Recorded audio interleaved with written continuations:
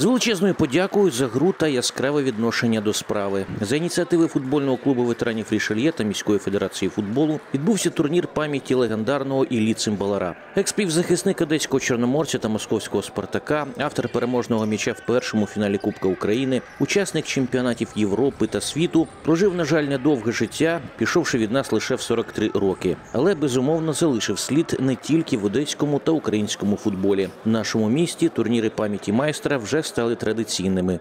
Приятно за то, что помнят, за то, что проводят, за то, что собираются люди после работы. То, понятное дело, в такое нелегкое время. И видно было по игре эмоции, битва за каждый момент, скажем так. Значит, это все не просто так, значит, это от души, от сердца, а это греет душу еще больше.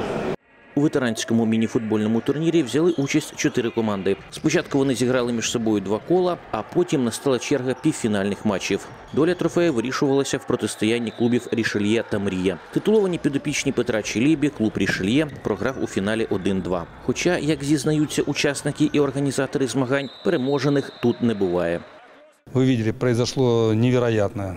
Команда, занявшая в чемпионате первое место, в групповом первом этапе первое место, э, проиграла за третье место. Сначала полуфинал по пенальти проиграли, и в финале проиграли команде, которая была на четвертом месте. Вот это футбол, были равные, красивые игры, главное уважение. Ну, в футболе, вы знаете, ветеранском победителей нет.